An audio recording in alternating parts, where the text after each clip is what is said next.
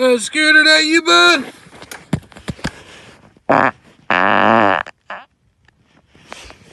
Keep on scooting.